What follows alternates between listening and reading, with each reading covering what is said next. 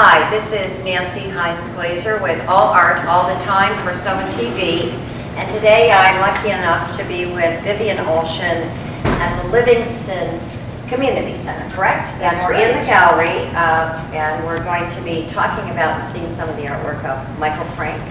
And Vivian, I want you to tell us a little bit, if you could, about the place. The place. Yes. Well, I'm Vivian Olshen, President of the Arts Council in Livingston, and um, our organization was founded in 1990, um, and uh, we're an arm of the Livingston Township Council. Um, it- This was formed actually to coordinate and promote art in the community. Various groups are members of our organization, such as the Livingston Art Association and the Camera Club and actually the New Jersey Ballet, uh, Community Players, um, Children's Theater, uh, Riker Hill Art Park, um, the Opera Guild, and so on. It goes on and on. On and on. So- And that's your job, you're in charge of all. Uh, Exactly. So it's the performing and visual arts. Um, We sponsor many events. Um, Our main uh, event is Art at the Oval. And we're in, we're in front of one of the wonderful pieces of work that's on exhibit here now, and the show is run by the Arts Council, namely Yes. you, Well, yeah. with many other volunteers. Yeah, right? actually, our chair is Harriet Kaufman, and, um, and she uh, couldn't be here with us today. That's unfortunate. That's okay. In any case, we're so excited with Mikel's work, because Mikel Frank does these amazing, um, passionate, exciting pieces. The color, the, um, the action, they're action paintings. And um, you, you just feel his emotion. And, and you know from this, because this is your special area, you are an oil painter, right? Yes, I am. So you are an artist, not just a great organizational so Well, you know. actually, art, artist first. Oh, Artist Right, first. right, and you, you do teach classes also? I do Um, at the J- JCC over at, um, um, in West Orange. Right, first of all, we want to thank you for letting us come and do the interview today because we think it's important to honor all our arts and artists and it shows Essex County working together as well. We're so excited that you invited Yeah, well, us. Thank you so much for being on camera and we hope you get some classes and if we get anyone who calls in and uh, asks, we'll make sure. Oh. Now, what is, so how would they reach you to sign up? Oh, they can call me, Okay, um, I, or call the JCC. okay, and what's your number? And My my number is 973-992-1950. And there are also art classes given in this building by the Art Association. And I would hate to be in competition with them, No. they're one of our groups, you know. Yeah, no, but I think it's all about the art, so wherever you can get the classes, that's best. We thank you so much for letting us come. Appreciate it.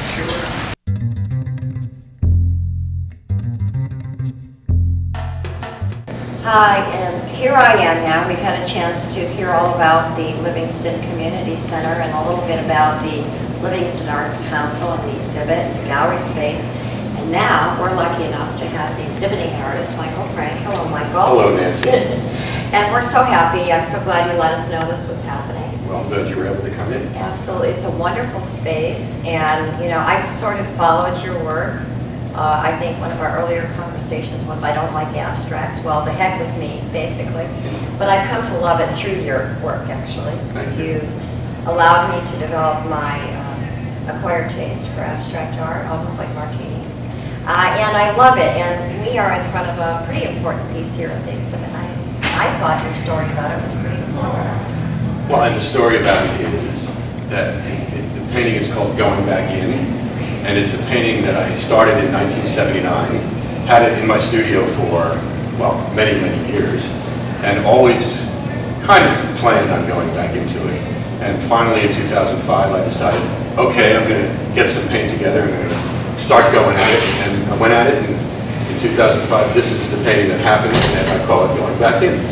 So it represents a number of different, well, quite a few years apart. That's a long Well, time apart. Well, the question that artists get a lot is how long did that take you to do? And I always say, all my life, because if it wasn't for the work that had gone before, the education that had gone before, the experience that had gone before, I would never have been able to do this painting. And so this is kind of a little capsule of time over the course of those years, where I started something, had an idea, wanted to go in and, and and progress and, and make that idea a little more solid. And so it took me a while, but I got it. And I- and I'm happy with the painting. And this is what I wanted to stand in front of because it speaks to me, and your paintings speak to people differently, I know. Oh, they do. Vivian and I talked. She has a favorite one across the room. We've already been so it's going to be part of the show. But do you have any paintings that you love or any that you really don't like by the time you're done with them? I mean, you have to love them all because they're your work, but any that you just really can't stand? Well, uh, it's more, it's more like ones that I like more than others. Okay. Because I'm, at this point in my life, you know, I kind of know what I want to see and what I want to make and, and where I want to get to in a painting. The hardest thing to decide is when it's finished, especially with abstract work, because, you know, you can kind of stop early on and say, okay, you know, I'm happy with that. Or you can kind of push it. And I like to push it, I like to push the envelope, as they say. And I like to take it that one step further, if it's appropriate to do that. Sometimes I, I arrive at a piece, like the one I was just talking about, my, the one I did after, after my dad. dad. My dad, who passed away in January, this painting here, called Fire and Light, was the first painting I did since he passed. And I, and it's, it's very emotional, of course, but also, I, I- I came to it and I arrived at the painting rather quickly, because I kind of knew what I wanted to do. And so that, that, when you go into the studio, when you're, when you're painting, when you're acting, you know, my paintings are very active. So when I'm acting out, kind of, you know, quote unquote, I, I look, I look at it and I go, okay, well, yeah, that can live, I can live with that and that can live beyond me. somewhere else. Yeah. Now, it's all oil? It's all oil, and- except for the- primarily the encaustics, Encaustics, yeah. you- you've sort of gone out and experimented some with the Right. encaustics, and everybody keeps wanting you to do more of your oils, I'm sure. Although they Right. love your encaustics, they love that oil. Well. You know, they really, because they, It's- they, that's- it's you, Right. I think. Is it hard when you're an artist who's been doing it a long time? How many years have you been doing this, by the way? Well, years? 45 years? Yeah, okay, you're much younger than that. But is it hard once you break out and change into some other medium? Well, it's, it's, no, it's exciting. It's exciting. I, I, I look at it, you know, always in a kind of, you know, educational way. And in the way that I am always learning about, learning new things in order to express new ways. And technique and process are very important to me. Um, So it's, it's more the doing and being in the zone, as I call it, and loving that and finding a a way, finding a medium uh, or media that will work for me to get me to the place that I want to be. So with the, with the encaustic, a lot of it, you know, a lot of it was lending itself to collage and taking real imagery, real meaning narrative imagery, uh, more recognizable imagery, as opposed to abstract expressionism, and, and, and formulating ideas that way so that the work can take on a new meaning and go to a new place. And I've been, I've been happy with it. Now, this show is up until the end of August. This is 2010. Sometimes our shows repeat, especially if they're good, like you always are. So it's 2010, but you've set your sights on new things. You've been in Gallery 1978 since inception almost. right? Yeah, As part of the well- board. Yeah, 1978 has been a big In part of my life in in Maplewood. I'm, I'm the vice president of the executive board with uh, Ellen Greenfield and a bunch of other wonderful people, wonderful volunteers. And we do the artist studio tour. Coming up is the Contemporary Artist Forum exhibition, which is an exhibition devoted to members of a class that I run called the Contemporary Artist Forum, where we uh, all bring in our own work and we discuss it. It's a critique group, kind of on a college level critique group. And that meets at 1978. Now, you're also going to become part of, or have been part of, the Arts, the Arts- Livingston Arts Council Gallery in the town center, downtown Livingston. They also have a- an art gallery there. This is, by the way, I think you said the Arts Council yeah. of Livingston Yeah. is exhibition space, and they will be um, having a, a- a group exhibition there, which uh, they've asked, and, and they've asked me to be part of it. Well, we might have to come have a look over there. That would be great. You're invited. Oh, thank you very much, as as well as just about everybody else in the That's right. audience. We Please hope come that to you the have a Arts Council chance to do that. Is there anything that you'd like to say? Um, I I personally think it's great that you're here in Livingston. We're over in Maplewood in South Orange. Our show is broadcast from there. We hope it goes statewide. But what I think is wonderful is the interaction and interconnection to artists regardless of where they're at. They find each other somehow. You find spaces so you share it. Right. And I, I think it goes to the quality of people we have who are artists. They want to connect, Yep. they want to communicate, they want to share. Nobody hides their secrets. Well, it's, it's really a small art world community, and uh, Essex County is, is wonderful that way, uh, you know, all the towns coming together, doing things together. Uh, The way I met Vivian, um, the president of the, of the Arts Council, was that I was asked to do for the New Jersey Symphony Orchestra, I was asked to do a violin.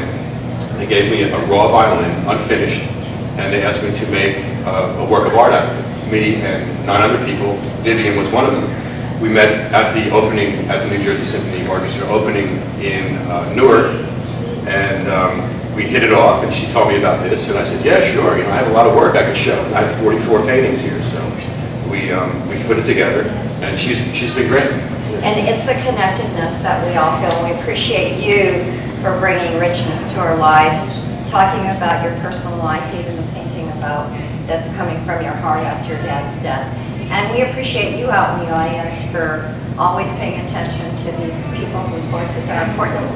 And I thank Thank you for- Mikel, for supporting. Yeah, absolutely. And thanks for joining us today. Um, And we'll be sure to come up to all your shows. Mikel Frank, keep an eye out, Livingston Arts Council, gallery space at the Livingston Community Center, and all over the globe. They have children's theater, they have children's scholarships, and most of the artists want to make sure kids, the next generation, is prepared. We appreciate you for joining us. Thank you. Thank you. Thanks,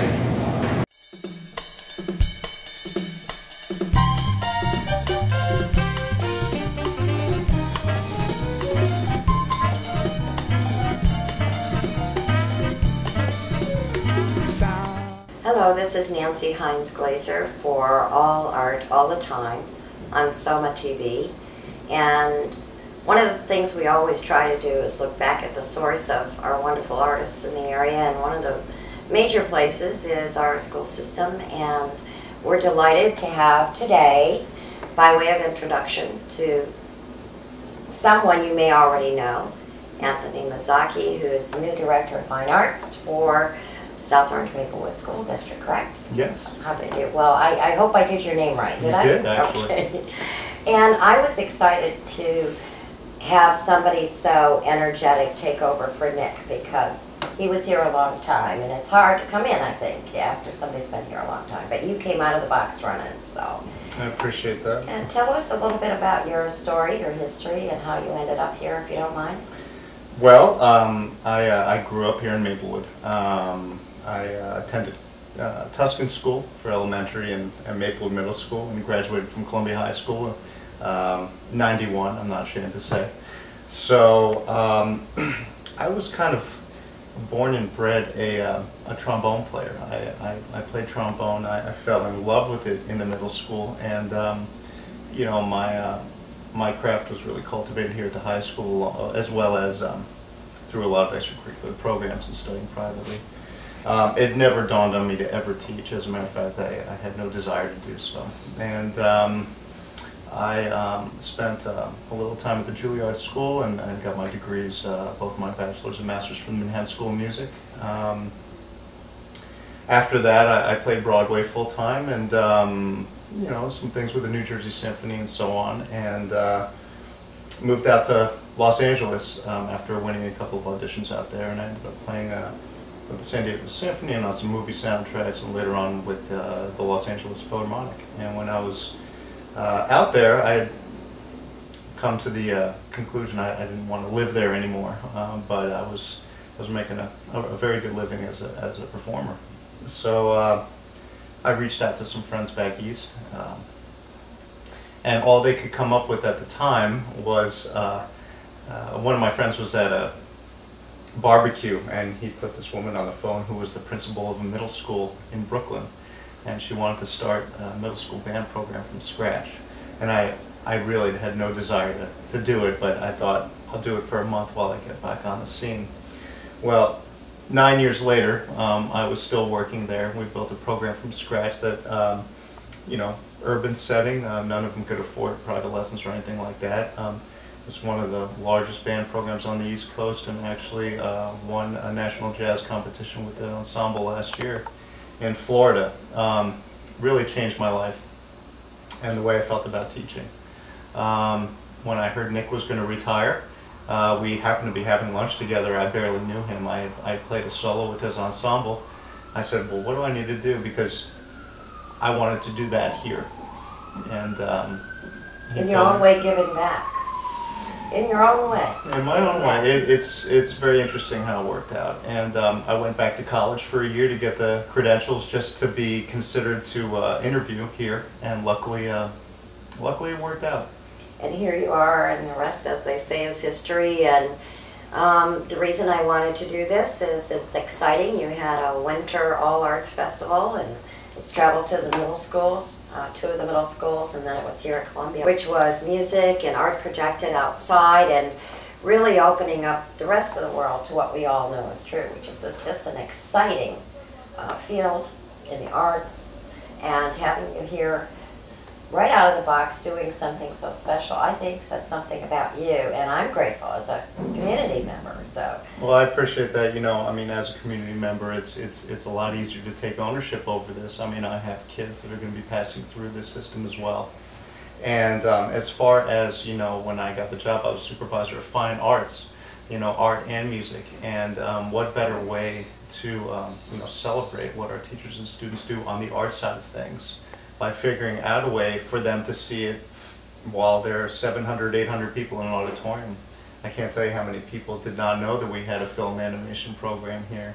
And when they saw the work of the kids, you know, projected like that, it was really, it was really a feast for the senses. And, and we do need to, need to celebrate and recognize all the work that's going into this stuff. It's, uh, it's really incredible. You know, real quick, we were talking about the Pierro Gallery last year. I went to that showing. And um, Reaching out, reaching in. reaching out, reaching in. Yeah, And uh, at the at the beginning, the uh, music teachers here played a little something for everybody, and then we went and, and, and saw the artwork. And uh, I heard somebody say, "You know, that's the first time I've ever seen the art and music collaborate," and uh, I found that to be a little sad. So I said, "Okay." Let the collaboration begin, and we've and this was a, this is a good start, and um, I hope uh, I hope it's the beginning of something even bigger. I want to thank you for coming here and, and bringing back all those talents in Los Angeles and performances and appreciation of art uh, to the kids and to the community overall. Welcome. I appreciate Thank it. you. Thank you.